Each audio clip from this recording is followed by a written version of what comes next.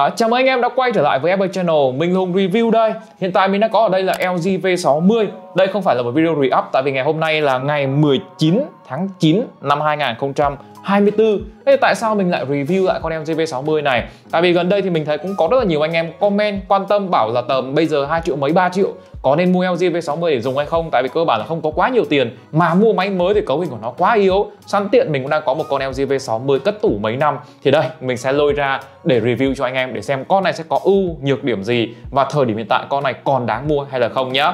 À, trước khi bắt đầu video này thì thực sự phải nói thật với anh em rằng là LG V60 bây giờ rất khó mua và giá bây giờ giờ nếu mà anh em mua ở các cửa hàng ấy thì cũng rất là rất là cao anh em nha. Nó sẽ rơi vào tầm từ 3 triệu tư đến 3 triệu 6 tùy hình thức. Còn nếu anh em mua qua tay người dùng dùng thì sẽ mức giá theo tùy theo cái hình thức của máy. Có thể là tầm 2 triệu 7, 2 triệu 8, 3 triệu gì đấy. Máy đẹp thì giá càng cao. Thế thôi. Đó và con này mình cũng có một con duy nhất. Con này hiện tại đang gặp vấn đề là nó bị uh, lỗi sạc chậm cái này thì anh em thay cái cụm dây sạc là được mình thanh lý nhanh con này 2 triệu hai anh em nào cần thì bấm vào cái link Google Sheet ở ngay bên dưới nhé và ngoài ra mình có thanh lý rất là nhiều những con LG V40 này LG V50 này Sharp XZ2 XZ3 này rồi SAP R2, SAP R5G vân vân. Đường link ở ngay bên dưới anh em nhớ bấm vào nha. Rồi, còn bây giờ thì à, vào việc thôi.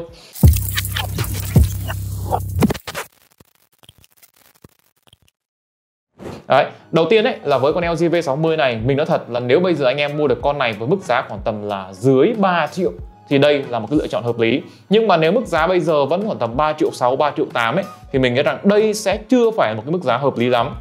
Tại vì sao? Tại vì nếu mà 3 triệu 6, 3 triệu 8 anh em mua giúp mình mấy con điện thoại Xiaomi hàng cũ Ví dụ như là đời Redmi K40 này, Redmi K50 này, Redmi K Ờ, 50 gaming này, Replica 40 gaming này. Mình đảm bảo rằng cái trải nghiệm sử dụng của nó về cái phần hiệu năng, về cái phần lật tối ưu, về cái phần hỗ trợ nó sẽ ngon hơn so với con LG V60 này rất nhiều. Và trên LG V60 nó tồn tại những cái lối vặt mà anh em bắt buộc cần phải chấp nhận. Và những cái thứ mà anh em cũng bắt buộc phải chấp nhận ở trên con LG V60 này. Đầu tiên như mình đã nói con LG V60 nó bị một cái bệnh chung đó là cái cụm dây sạc ở bên trong của nó. Nó không được cố định bằng hai con ốc giống như là LG V40 và LG G8 thế nên là khi mà chúng ta sử dụng một thời gian chúng ta cắm cái đầu thai si vào.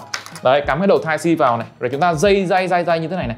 Đó thì về lâu về dài cái cổng sạc của nó cái chui sạc bên trong của nó sẽ bị đứt mạch ngầm và có thể là nó sẽ nhận sạc chập chờn hoặc lúc nhận lúc không hoặc là không hỗ trợ sạc nhanh. Thế nên anh em nếu mà bị tình trạng như thế nhá anh em phải đặt một cái cụm ừ, um, chui sạc cho LG V60 và chúng ta thay vào và dán keo thật là chắc chắn lại thì nó sẽ hết và cái cụm chui sạc đấy anh em mua trên Shopee giá tầm mấy chục hoặc là trăm mấy thôi. Đợt trước mình cũng đang định là mua về thay nhưng mà lười quá nên là thôi bỏ qua luôn, bán cho nó nhanh.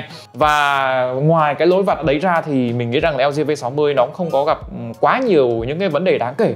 Thiết kế để con LG V60 này nó không quá đẹp đối với cá nhân mình là như vậy.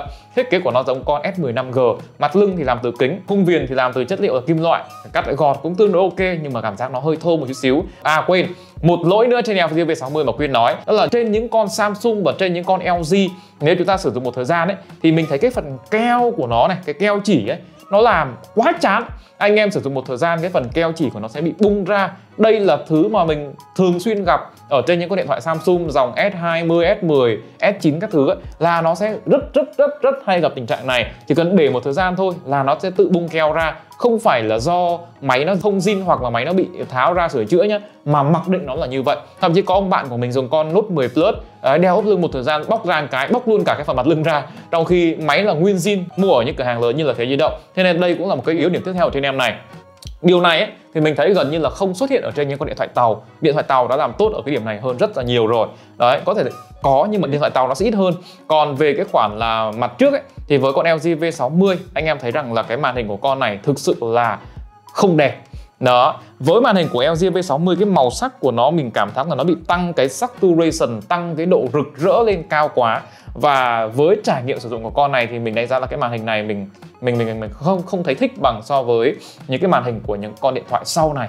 Thứ nhất là nó dùng màn hình kiểu là màn hình giọt nước chứ không phải là màn hình đục lỗ. Thứ hai là con này nó không có tần số quét màn hình cao.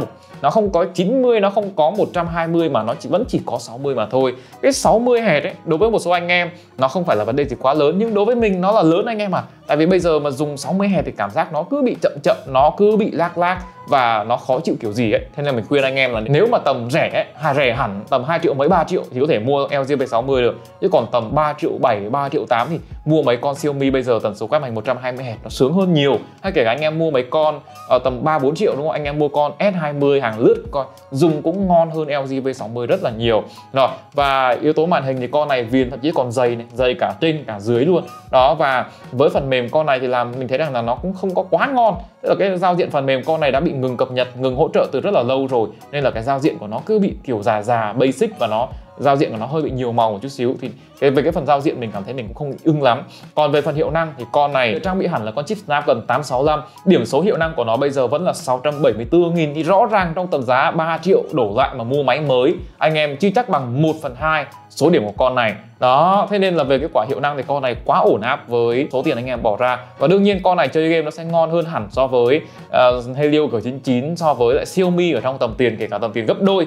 Đấy, tại vì cơ bản anh em phải thấy một điều rằng này điểm số GPU của con này sẽ là 196.000 trong khi những cái con điện thoại mới ấy, mà có 7 800 ngàn điểm AutoTune thì mình sẽ để kế bên cho anh em xem này đó điểm số GPU của nó thấp tẹt à tầm 100 230 thôi. Còn lại cái phần CPU và cái phần memory và cái phần UX nó rất là cao điểm. Mà chơi game ấy, thì nó lại dùng nhiều về cái phần là GPU hơn. Và GPU 865 mặc dù cùng một cái mức setting cùng một cái mức đồ họa mình đảm bảo rằng nó đẹp hơn chi tiết hơn so với lại những con có cùng điểm số AutoTune mà GPU kém hơn. Đó. Và nói chung ấy, là về phần hiệu năng thì mình đánh giá con này ở mức là rất là ổn. RAM của nó sẽ là 8GB của nhớ trong 128 đến là một cái điểm ổn tiếp theo nữa ở trên LG V60 đó chính là về cái khả năng chụp. Thì LG V60 mình đánh giá là nó có một cái camera rất ổn ở trong tầm tiền kể cả khả năng chụp và khả năng quay video. Tại vì cơ bản rằng con này nó sẽ có khả năng quay video ở cam sau sẽ là 4K 60 fps và thậm chí là anh em có thể được bật lên cái chế độ là 8K luôn. Và với con này khả năng quay phim chống rung rất là tốt.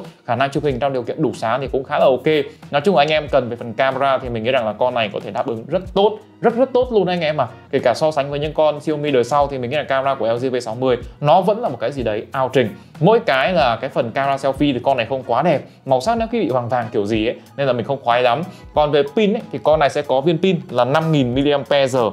Nó sẽ có sạc nhanh là khoảng tầm 21,522W Mình đã có từng đo rồi Nhưng mà con này hiện tại của mình nó đang bị mất sạc nhanh rồi Nó chỉ nhận vào có 10-12W thôi à. Nên là anh em cũng phải là thực sự lưu ý nhá.